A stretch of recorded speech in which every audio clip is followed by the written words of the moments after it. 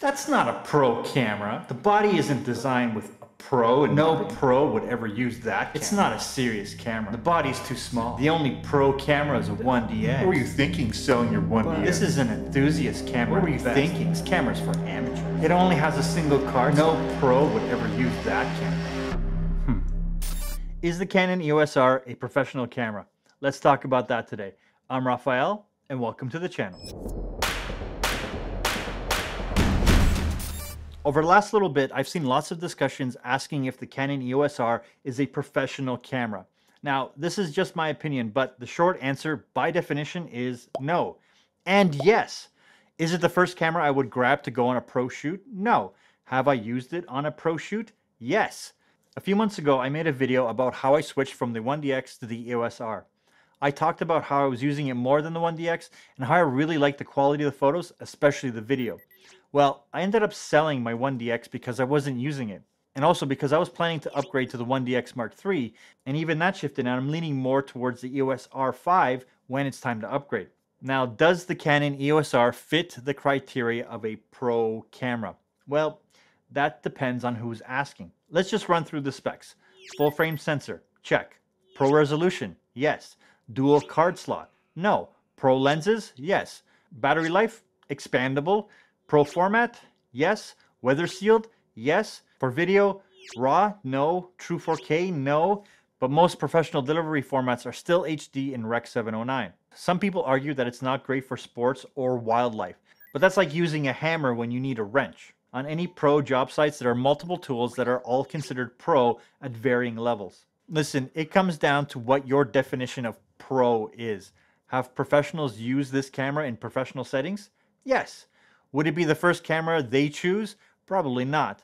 Would they capture equally amazing imagery with it? Absolutely. Let's break this down a little further. The first big thing is no dual card slots. This is the biggest argument against the EOS R. Let's examine this. Back in 2004, the first EOS camera with dual card slots, the Professional 1D Mark II, was launched. Media cards back then had a way smaller capacity, so having the extra memory accessible without changing cards was really important. So the biggest benefit to having two card slots in the camera was simply doubling the shooting capacity, not for redundancy. So one camera only 15 years ago had this. Before that, pros used film. There was no dual film slots. And just so we're clear, even for the video side, Reds and Alexas have only one card slot on them, and they film the biggest features on the planet. And in terms of quality, Steven Soderbergh shot Unsane on an iPhone. Danny Boyle shot 28 days later with a Canon XL1 on DV tapes. GoPros were used to film some portions of Peter Jackson's The Hobbit. Would anyone consider those three not to be professionals making professional quality content?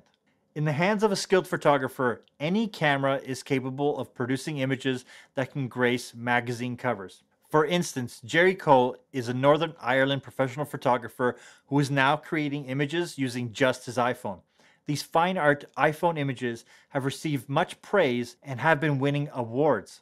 Professional means someone who is making a living through their work. This has no implication about skill or quality. In terms of gear, professional equipment is gear designed for rugged use and offers a bevy of features that your regular hobbyist might not ever want or need. If you're someone who's making a living taking photos and your cameras cannot be ever allowed to fail, then you buy the top tier professional body. If you need performance, then you pay for it. This is something that really gets to me. The idea that someone is not a professional until they have pro gear. And I know that I've been guilty of this thinking early on. This allure and lie that you are not a professional until you use what the pros use. This is backwards thinking. This puts the focus on the wrong improvements. Improving your craft and your skill will make you way more professional than the type of pro camera that you have. So don't be fooled when someone tells you that your camera isn't pro enough or that you're too young to be a pro.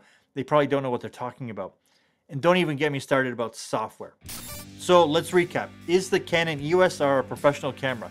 Yes, yes it is. By definition it is. Are there higher tier pro cameras?